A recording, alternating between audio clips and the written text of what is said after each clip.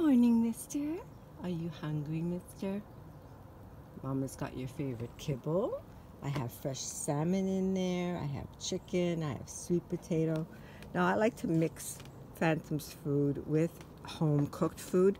Now, remember, you don't have to add salt to the cooked food that you give your dogs. You, that's causing sodium poisoning. So just cook it naturally without any spices or anything, and they just love it. And it is very healthy. So there's cooked salmon in there. There's cooked sweet potato and the shredded chicken in his favorite kibble.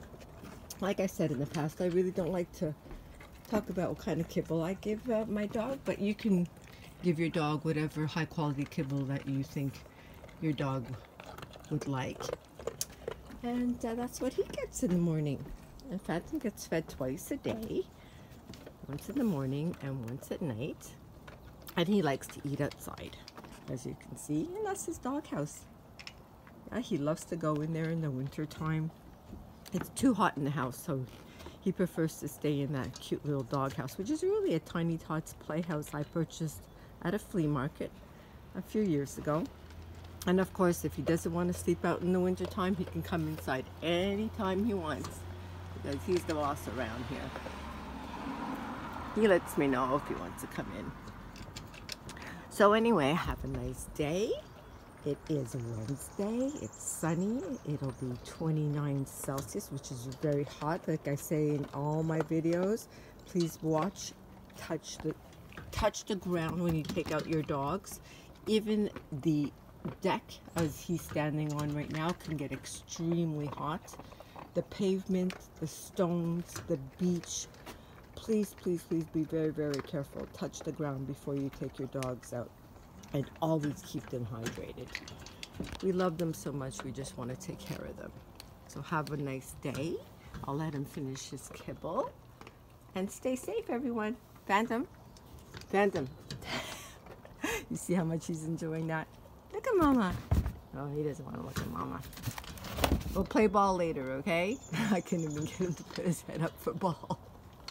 How much he's loving that? So remember, you can give him cooked food, but you don't have to add salt to it.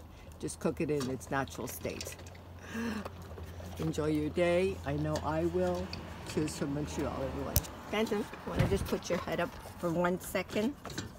Hey, mister. Hey, you finished? Let's see. Let's see your, let's see your bowl. Oh, it's almost finished. Hey, mister. Okay, here you go, honey. Almost done. There you go. What service? All done, mister? Cheers from Montreal, everyone. Stay safe. I just love this boy. Phantom, there he goes. This is called potty time. In the yard. And he's got access to a whole acre. Has freedom to do what he wants, when he wants. This dog is never, ever tied up. Nope. None of my dogs were ever tied up, and they never will be.